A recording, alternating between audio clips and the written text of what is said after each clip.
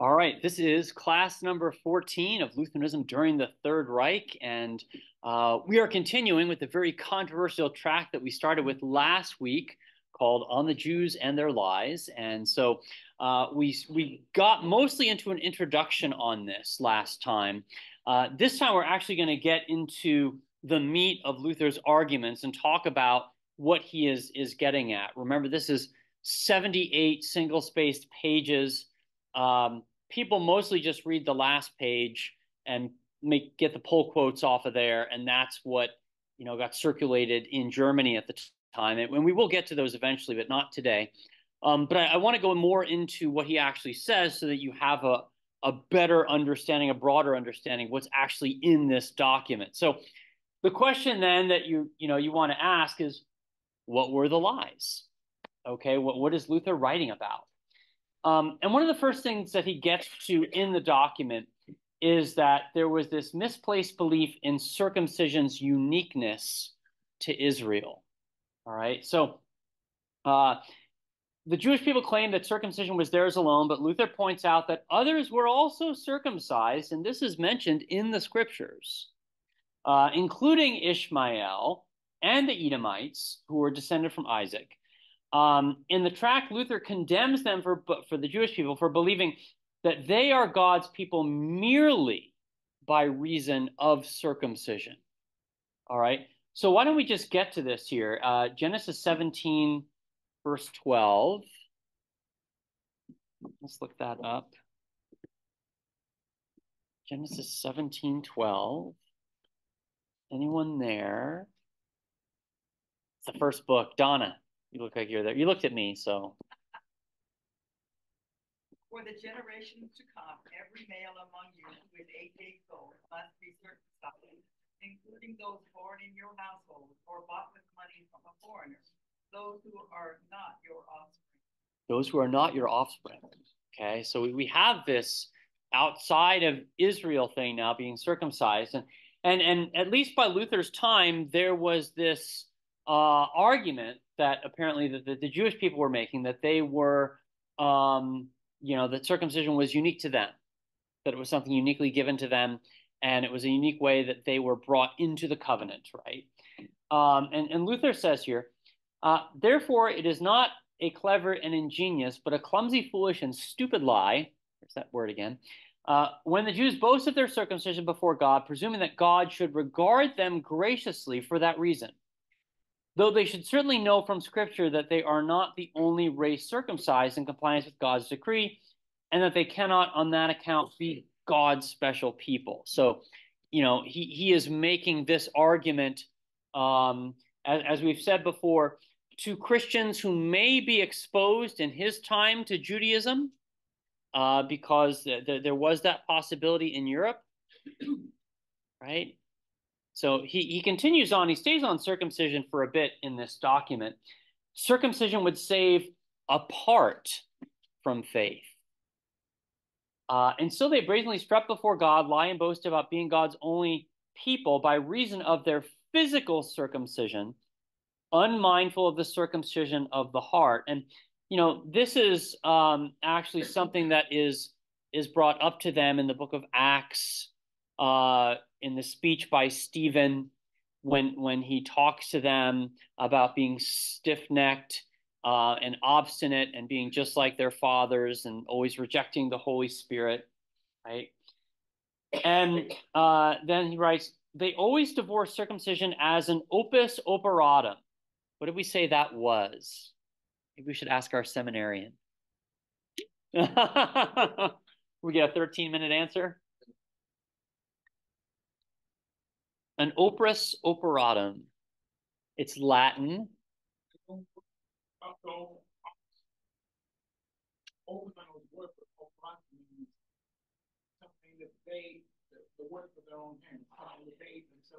Yeah, the the uh, the work having been worked. So it, it just do the work, and that's sufficient. Nothing else is needed. You don't need to have faith or anything. Just just you know be circumcised and then go live as a pagan and and you're good um so uh, and they persecuted all the prophets through whom God wished to speak with them according to the terms in which circumcision was instituted. So, you know, circumcision made them a part of the uh, Abrahamic covenant, right? And uh, you know, there was there was a couple different uh, dimensions to that, but you know, they were also called to be the people of God, and being the people of God came with, you know, an expression of that identity. But no, we got circumcised, we're good.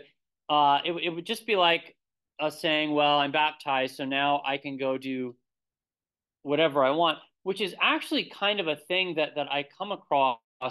Uh, no offense to anybody out there who's watching this who who is of this church, but there's a particular church that I will not name that as long as you go to confession, it seems like you can do whatever you want. That's all I'm going to say.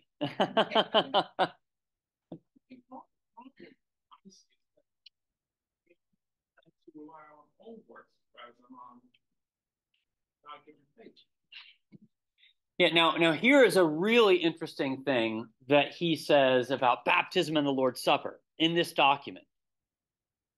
Uh, the following is an analogous situation for us Christians.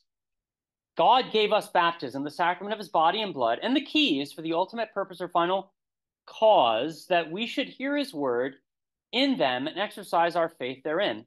That is, he intends to be our God through them, and through them we are to be his people. However, what did we do? We proceeded to separate the word and faith from the sacrament, that is, from God and his ultimate purpose, and converted it into a mere opus legis, a work of the law, or as the papists call it, an opus operatum, merely a human work which the priest offered to God and the laity performed as a work of obedience as often as they received it. What is left of the sacrament? Only the empty husk, the mere ceremony, opus vanum, divested of everything divine. Yes, it is a hideous abomination in which we perverted God's truth into lies and worshipped the veritable calf of Aaron. Therefore, God also delivered us into all sorts of terrible blindness and innumerable false doctrines and furthermore, he permitted Mohammed and the Pope together with all the devils to come upon us. Well, that's just going after all his enemies in one sentence. so, any any thoughts about this? Do you guys understand what he's saying here? In essence, corrupted baptism and the Lord's Supper by making them mere works, and therefore risk, and therefore risk being under the judgment of God and for God allowing the enemies of the church with you know, now he is going back to what he felt the church of his time had done with these things that he then since reformed, right? But uh, uh, an opus vanum, right? A, a work of vanity, um, a work of you know nothingness. It's just it just it, it's appearances, right? And and then so it's just go to the supper, have baptism, but you don't need to have faith because you've you've checked the box. And, and so, um, you know, we know that uh, you know the means of grace create faith, right? And they bring us into a relationship with Christ. Or in the case of the Lord's Supper, they forgive sins. It forgives sins. Um, it reinforces our relationship with Jesus. It proclaims us to be members of the new covenant. Uh, but the mindset of the time was to, to merely look at those things the same way that the Jewish people had come to look at circumcision, which was just to, to look at the outside of it, not to look at what God was doing through it. And um, this is often the argument that is still waged against us today when we talk about salvation by baptism, when we talk about the forgiveness of sins coming through the sacrament that people will accuse us of believing this. And Luther condemns this, right? Tanner. So when he's saying it's uh, we're treated like an opus operatum, mm-hmm. and uh, it's then divested of everything divine, and he's talking about the sacraments, the Eucharist, and baptism. Surely the body and blood is still there, so it's not divested of everything. right? Yeah, no, I mean, obviously, it, it's still what God has, um, you know, designed for it to be, because we know that if you even if you give it to an unbeliever, it's still the same. It's still the body and blood of Christ. Um, but he's saying that um, kind of like what I'm going to be talking about in the sermon today, what they had done with the temple. Um, that even though it was the place of sacrifice, it was the presence of God, and their thinking differently didn't nullify that, but yet still, Jesus calls it a marketplace and a den of robbers. So it's it's it's still the same thing. It, it, it's not changing. You know, I don't want to get into this scholastic thought of substance and accidents, but it, it doesn't change the substance of what it is, but it changes into how it is perceived and understood. And that they, they, they came to see it apart from faith. Certainly the right? Then you're eating and drinking.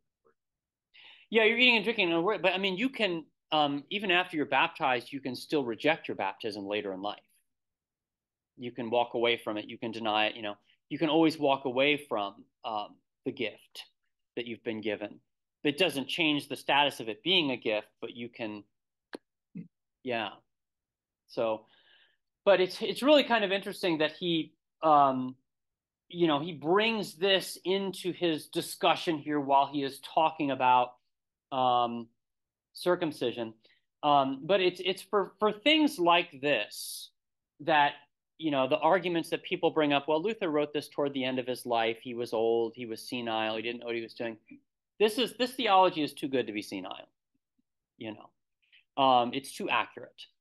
So um, you know, really we, we can't just dismiss it for reasons of of age.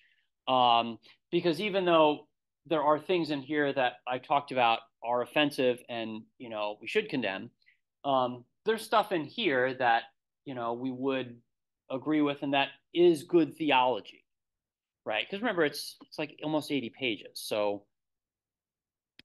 um, all right, what more? More were lies. Um, they are his special people because God spoke to them, or Moses on Mount Sinai, and gave them his law. For this, they have reason to boast. And Luther writes, It is the same kind of boasting when the Jews boast in their synagogues, praising and thanking God for sanctifying them through his law and setting them apart as a peculiar people, although they know full well that they are not at all observing this law, that they are full of conceit, envy, usury, greed, and all sorts of, of malice. So it's again, it's it's it's looking uh, at the faith merely through externals. Uh, you know, they always thought they were safe because they had the promised land, they had the temple, they had these things and they they looked at them just externally uh, apart from apart from you know the um the the the gifts that would come through these things right um despite the, the the the fact that they were his people through the covenant but but they came to look at the covenant like it was just a, a good luck charm as long as i have this charm you know I'm good. Uh, and he uses this word a lot external. For the external laws were not given to make a nation the people of God, but to adorn and enhance God's people externally. Right? So, uh, you know, maybe in a way you, you think of like Matthew 5 when Jesus says, um, you know, let people see your good works so that they give glory to God, kind of a thing that the, that the Jewish people uh, were called to be separate from the pagan nations and that they would be distinct, that they would be different, so that when other people would see them, they would recognize them as God's people, uh, as opposed to like all the pagan nations who were, nations who were doing all these things that were, uh, you know, contrary to God's law.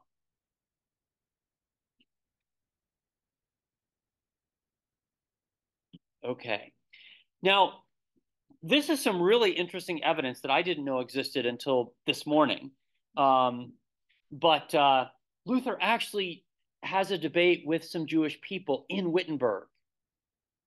He says, I once experienced this myself. Three learned Jews came to me, hoping to discover a new Jew in me, because we were beginning to read Hebrew here in Wittenberg and remarking that matters would soon improve since we Christians were starting to read their books. When I debated with them, they gave me their glosses as they usually do, but when I forced them back to the text, they soon fled from it, saying that they were obliged to believe their rabbis as we do the Pope and the doctors, etc. I took pity on them and gave them a letter of recommendation to the authorities asking that for Christ's sake they let them freely go their way. But later I found out that they called Christ a tola, that is, a hanged highwayman. Therefore, I do not wish to have anything more to do with any Jew. As St. Paul says, they are consigned to wrath. The more one tries to help them, the baser and more stubborn they become. Leave them to their own devices. So, as the Reformation now was was happening, remember that we talked about sort of the growing snowball of anti-Semitism in Europe through the centuries, and um, it, it, was so that by this time, uh, you know, if if you were Jewish, you you may have needed to have gotten permission to go into a certain city or country. It's not like here where you can just go where you want, but but you needed to have permission. And so Luther, that's what Luther is. He's giving them this letter of recommendation here, you know, that they can leave freely and not not be harassed. But you know, he he he debates with them because um, it, it, may have been the thought that the Jewish people uh, of that time were now impressed that the Christians were reading Jewish books again, uh, because now the Bible is interpreted uh, it's being disseminated. Other people have access to it. And so um, people were getting back into the Hebrew scriptures. And uh, maybe the Jewish people thought, well, by reading the Jewish scriptures, that Christians might either come to have a deeper appreciation of them or maybe deconvert somehow or something like that. And so Luther gets into this debate from them, but they go back to the teachings of their rabbis and they, you know, reject uh, what Luther has to say. And I think this is part of, you know, his reason for writing the tract because he feels like he's making these efforts to be reasonable, to convert, to have dialogue, right? And, and so he does actually, it's not just like he hears things about them, but now he's actually talking to them firsthand right? And so he has this this level of interaction with them. Um, but then somehow later on, he finds out that they reject what he says and they, um, you know, say what would be perceived as an insult for, for us as Christians.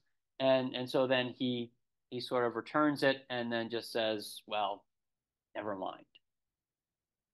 Right. Now, in this tract, he also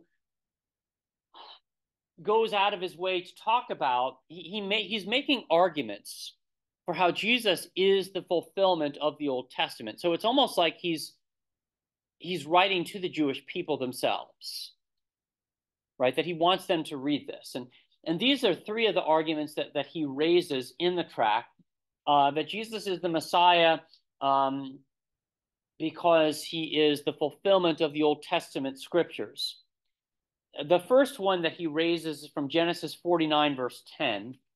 The scepter shall not depart from Judah until Shiloh comes. Okay, so let's actually let's turn there. Genesis 49, verse 10.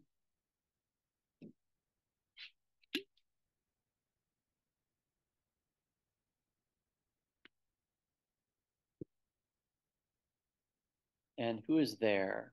Aaron?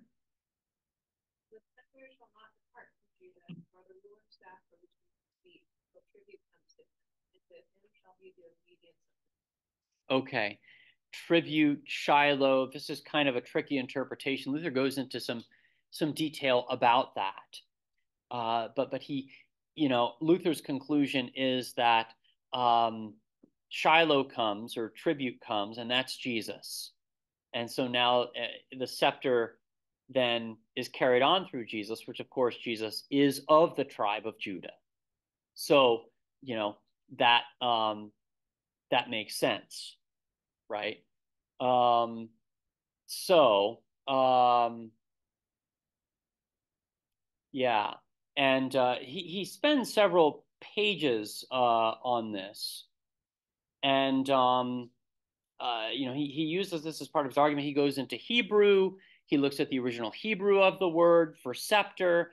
He talks about the importance of the scepter, right? Then um, one of the next thing he goes into, David will have an heir on the throne of Israel forever. All right, Second Samuel 7:12. Let's look at this. Ethan, looks like you're pecking away there.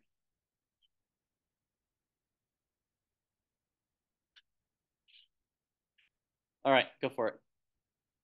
When your days are fulfilled lie down with your fathers, I will raise up you your offspring after you shall come from your body, and I will establish his kingdom. All right, your offspring from your body, and I will establish his his kingdom.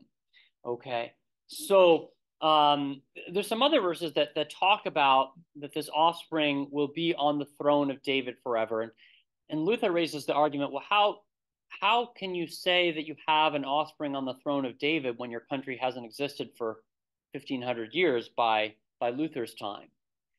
Right? Because if the Romans come and destroy it, and now you don't, uh, of course, the Romans put their own person in the place of the high priest, and the Israelites didn't have a king during that time. But um, you know, at the end of the nation would come the end of their thought of what the kingship is. But with us as Christians, you know, Jesus sits on the throne of David forever because he is a descendant of David. He is the offspring that the passage is talking about. So, by that token, Luther is, is saying that, you know, hey, um, this is what um, this is what's what's happening. And then um, one verse before Ethan, if you can scroll up, the Lord will build a house for you or for us from the time that I appointed judges over my people Israel. And I will give you rest from all your enemies. The Lord declares to you that the Lord will make you a house. All right, the Lord will make you a house. I mean, and and so there was this debate that David wanted to build a house for God, right, a temple, and God said no. Your son will build it, right? The son will build the house, and so um, you know, but but Luther also is going into the theology of this that this is more than just a building of stone, but that this house is the legacy of kingship uh, of David that extends through Christ as uh, as the king of God's people. So then you get into the understanding of Jesus as the new Israel, God's people as the new Israel, the church as the new Israel right?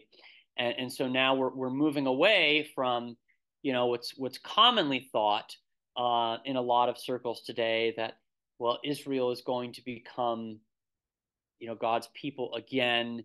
They'll rebuild the temple. I talk about this. I always say my sermon in here. Um, you know that they'll rebuild the temple, that, that God will show them favor, and, and all of this. And uh, Luther is making the argument that well, no, Christ is the house that is being built. He is the legacy uh, for us um, as the, the, people of God. So he's really, um, he's, he, I think he's writing to two different audiences. It, you know, in the event that the Jews, Jewish people come across this document, he's making the argument to them. He's also making it to Christians who he wants to um, give them a more solid understanding so that they will interpret these verses correctly as opposed to other interpretations they might get from Jewish people who would have a different understanding of, of what these verses mean. So this is what he is, you know, the tract has a number of different points that it is is seeking to make. Um, but largely is it is about um, you know it's it's an apologetic work that's designed to keep Christians Christian and to argue against um, Jewish claims of salvation, right? In much the same way that the Book of Concord was written by Lutherans um, in the Augsburg Confession and given to the Catholic Church and saying, here's where we agree with you, but here's where we disagree with you.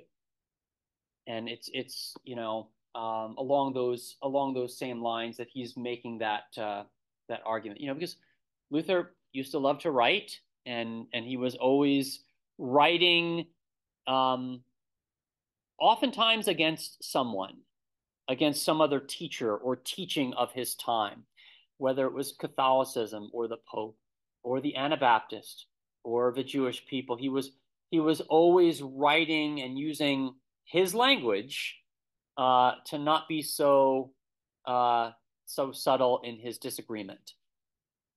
But I don't know. I kind of think that's how all the Germans used to talk back then. So, um, this is where I'm going to wind up today. Any thoughts about any of this? Uh, Donna.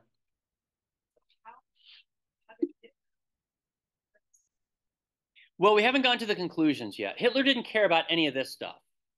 This is all just theology. He doesn't waste his time with this. Um, he's going to get the pull quotes from the end, and and the pull quotes from from the end of the book. You'll see. Um, maybe if I can clear 40 more pages of this by next week, we'll we'll finish and jump to the end. Uh, we'll see. But um, you know, Luther has some recommendations about the end about driving the Jewish people out, doing things to their synagogues, to their books, and and that's what what Hitler comes along and says, "Oh look." And then also some of the language that we talked about so far about calling the Jewish people devils and liars, which we know that he uses towards lots of different people. And he, we talked last week how he particularly likes the word devils, right? Though devils all the world should fill, it's it's in a mighty fortress, right? Um, and and that we also talked about how, um, you know, for many centuries and including up through Luther's time that you thought in terms of enemies uh, and that you went after your enemies. You know, today we don't do that anymore because it's considered unchristian, right? It's not nice, right? But but back then, I mean, and I'm sure that you know the Jewish people went on after the Christians too. After a while, they probably thought, oh, we thought the Reformation was going to do this and that, but it's just kind of the same old stuff that you know, has been said about us, and so there's nothing new there under the sun, on and on. Um, so they, they probably had similar thoughts that they expressed as well. That that's yeah, that's a good question. Any other thoughts? None. All right. Well, maybe we'll wrap up a little bit early today, and then we'll pick back up next week. But let's uh let's close in prayer. Heavenly Father, we, we thank you, Lord, for the teachings of the scriptures that promise us uh, eternal life through your Son, Jesus Christ. And we pray that as we look back into history, we continue to um, uncover uh, more things that, that we would um, have a right understanding about you and that we can share that understanding with the people of our day and also reflect on what um, the people of the past may have gotten wrong. And so we pray that you would be with us as we witness to you, um, as your son Jesus is the only um, salvation. In his name we pray. Amen.